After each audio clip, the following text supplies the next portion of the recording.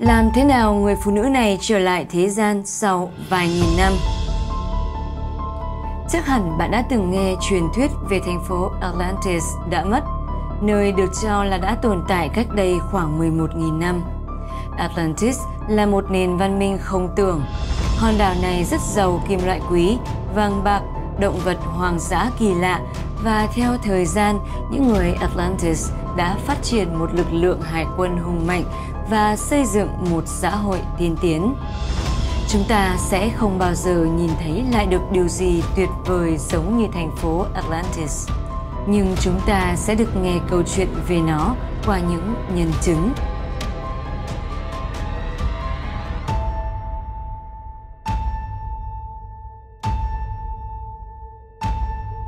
Mali xin kính chào quý khán thính giả của Đồng Tây Kim Cổ. Quý vị và các bạn thân mến, câu chuyện về Atlantis trở nên đáng buồn khi người dân bắt đầu tham lam và suy đồi về mặt đạo đức. Và các vị thần đã giáng xuống đại hồng thủy với động đất và núi lửa phun trào dữ dội, đến mức nhấn chìm Atlantis xuống đáy biển sâu. Tất cả những điều tuyệt vời về Atlantis là theo lời kể của triết gia người Hy Lạp Plato và lần đầu tiên Plato được nghe về câu chuyện đó là vào khoảng năm 360 trước công nguyên. Có vẻ như các bài viết của ông là những ghi chép duy nhất về sự kiện bi thảm này. Nhiều người tin rằng Atlantis rất có thể có thật, mặc dù chưa ai có thể xác định vị trí chính xác của nó.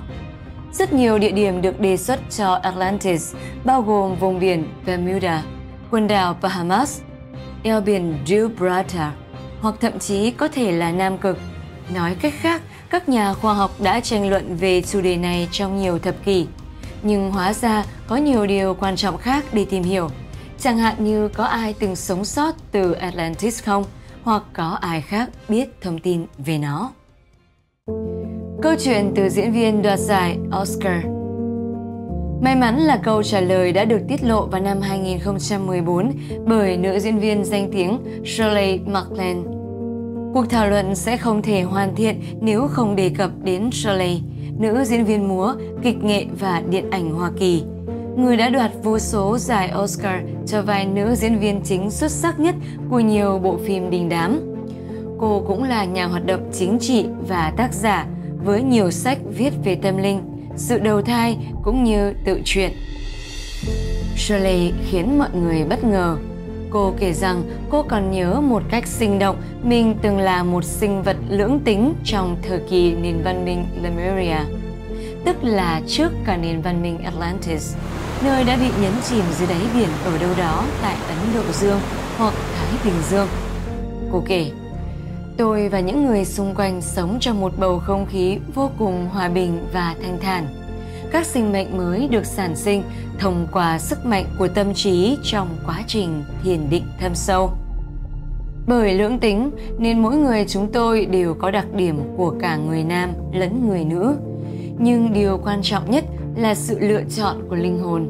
Điều đó đã được biểu lộ thông qua sự kết nối với thần mỗi con người ở đây có một sự dao động bằng nhau giữa âm và dương, giữa nam và nữ. McLean tiếp tục kể rằng quá trình sau đó giới tính sẽ phân tách và một người có thể hướng tới một giới tính cụ thể. Từ thực nghiệm này nảy sinh ra các thần thoại trên thế giới về việc người nữ phân tách ra khỏi người nam, như trong câu chuyện của Eve phân tách từ xương sườn của Adam. McLean đang cung cấp cho chúng ta một cái gì đó giống như là những hồi ức của cô về tiền kiếp. Nói cách khác, luân hồi có thể là có thật. Nó giống như khái niệm về cuộc sống sau khi chết. Chúng ta có thể trở lại thế gian không? Ngày nay, kỹ thuật thôi miên hồi quy không còn xa lạ nữa và người ta chấp nhận nó như một phương pháp điều trị hữu hiệu. Nhiều người đã trải qua liệu pháp này và tin vào luân hồi ngay từ đầu. Nếu bạn tái sinh từ một người đã sống hàng trăm, thậm chí hàng nghìn năm trước, thì bạn phải sở hữu một số thông tin hữu ích, có khi là khá bi thương hoặc đẫm máu về quá khứ của người đó. Bạn có thể nói một thứ ngôn ngữ cổ xưa hay biết thông tin chi tiết, chẳng hạn như về khí hậu hoặc tình hình địa chính trị trong thời đại đó. Chúng ta không cố gắng tạo ra một số tuyên bố táo bạo về luân hồi. Nói chung nó khá phức tạp, vì rõ ràng chúng ta không nhìn thấy quá trình đó. Chỉ có điều các dữ liệu được cung cấp là khá chân thật và khó có thể bàn cãi. Câu chuyện về Dorothy E.D. Lewis rất nổi tiếng.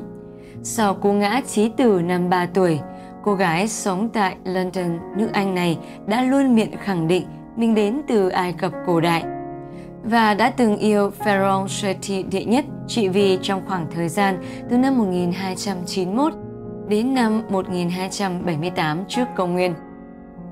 Dorothy miêu tả mình là một nữ tu sĩ tại đền Seti đệ nhất ở Epidos, Ai Cập. Vào một ngày nọ, Pharaoh Seti đệ nhất đã đến ngôi đền và gặp cô. Hai người đã yêu nhau và vượt quá giới hạn. Tuy nhiên, vì lời thề giữ gìn sự trinh tiết của một tu sĩ, cô đã tự sát để Pharaoh không bị liên lụy. Ban đầu, mọi người cho rằng Dorothy là một kẻ điên. Tuy nhiên, sau đó tất cả đã bị thuyết phục khi Dorothy chỉ ra vị trí trước đây của khu vườn trong ngôi đền Abydos. Và như đó, các nhà khảo cổ đã xác định chính xác vị trí của di chỉ này. Cô cũng tiết lộ một lối đi bí mật và một hầm thư viện với những ghi chép liên quan đến tôn giáo và lịch sử.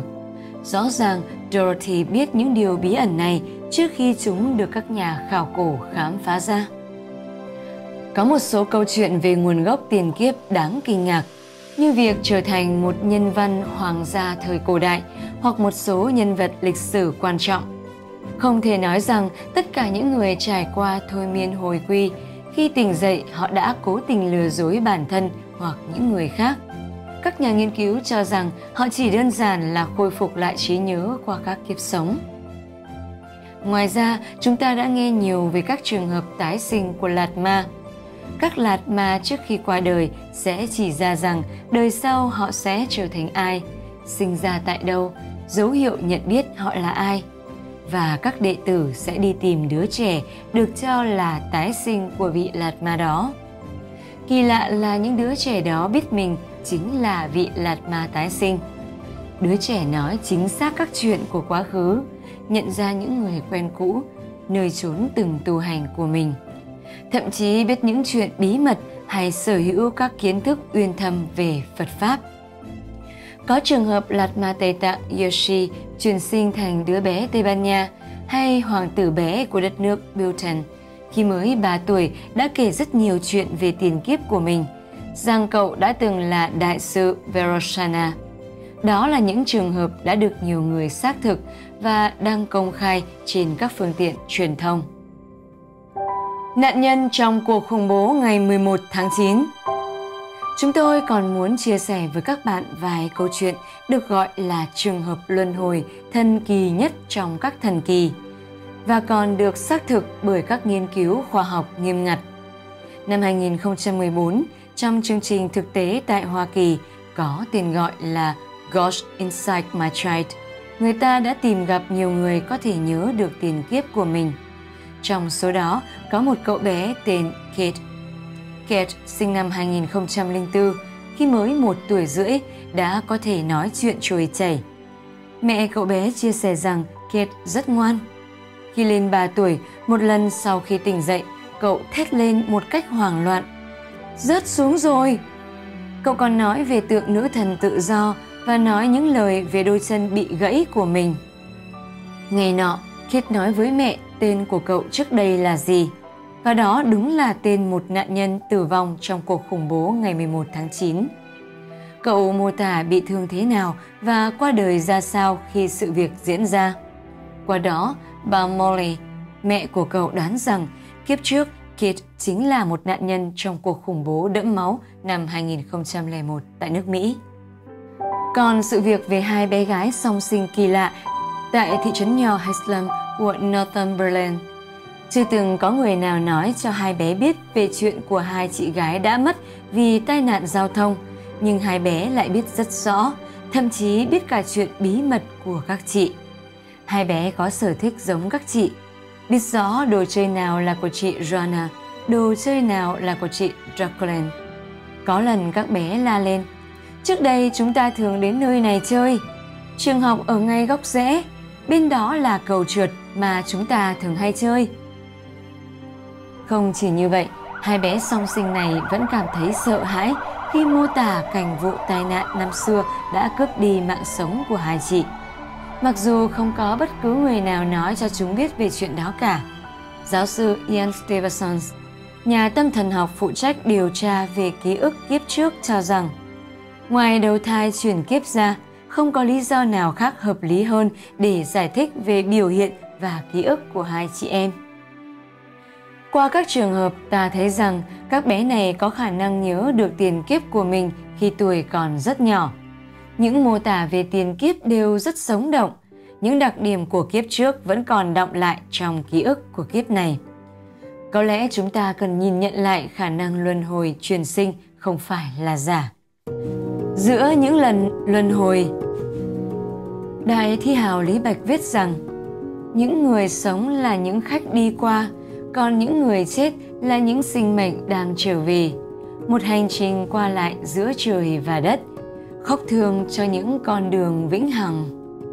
Trong cuốn sách Chỉ tình yêu là thật, Only Love is Real, tiến sĩ Brian Weiss đã kể lại chuyện một đôi nam nữ chưa từng gặp nhau trước đây đã tìm đến ông để được điều trị bằng phương pháp thôi miên hồi quy.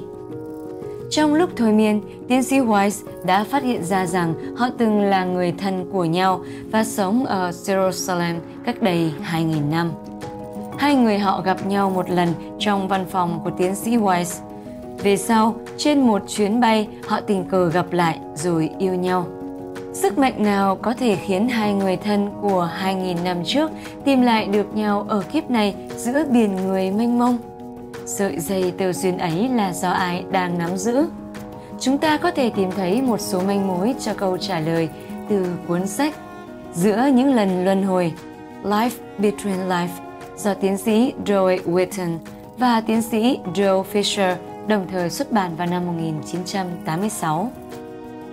Cuốn sách mô tả về thế giới bên kia, nơi dừng chân của các sinh mệnh giữa các kiếp luân hồi – ở nơi đó, kiếp sau của các con người được sinh mệnh ở tầng thứ cao hơn an bài.